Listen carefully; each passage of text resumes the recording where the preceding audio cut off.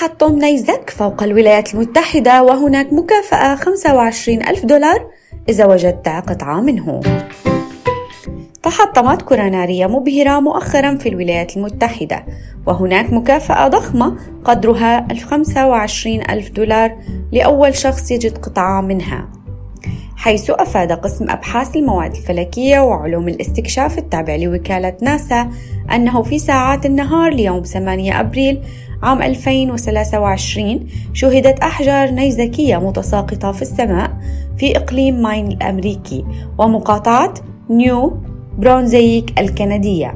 وتعتبر ظاهرة النهار هذه أول حدث نيزكي مرصود بالرادار في الولايات المتحدة وهو أمر نادر جدا لدرجة أن أشهر المتاحف على استعداد لدفع بعض الدولارات الكبيرة لأي شخص أمريكي أو كندي يمكنه العثور على أول جزء منه.